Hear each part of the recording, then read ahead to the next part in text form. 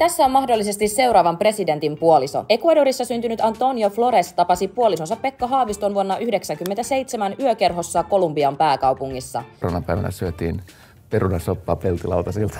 45-vuotias Flores on parturi-kampaamoyrittäjä. Hän on kouluttautunut myös tuertiksi, media-assistentiksi ja vaatesuunnittelijaksi sekä esiintynyt tosi TV-ohjelmissa ja elokuvissa. Tämä on leikannut hänen tukka vaikka kuinka monta vuotta. Flores on kertonut haluavansa jatkaa yrittäjänä, vaikka hänestä tulisi presidentin puoliso. Suomen kansalaisuuden hän sai vuonna 2007. Flores sai vuonna 2011 rattijopumustuomion Ecuadorissa. Noin kymmenen vuotta sitten hän päätyi putkaan Ruotsin laivalla käyttäydyttyään väkivaltaisesti. Flores pyysi käytöstään anteeksi ja kertoi hakevansa apua. Iltalehden mukaan Flores päätyi psykoterapiakeskus Vastaamon asiakkaaksi ja hän on yksi Vastaamon tietomurron uhreista. Yhteisen huumorintajun nimeen vannavat Haavisto ja Flores ovat olleet rekisteröidyssä parisuhteessa vuodesta 2002. Flores on kertonut haaveilevansa lapsesta.